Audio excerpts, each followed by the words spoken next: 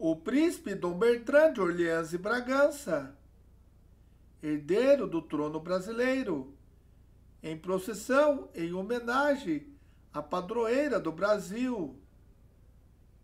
Viva Nossa Senhora Aparecida! Monarquia já!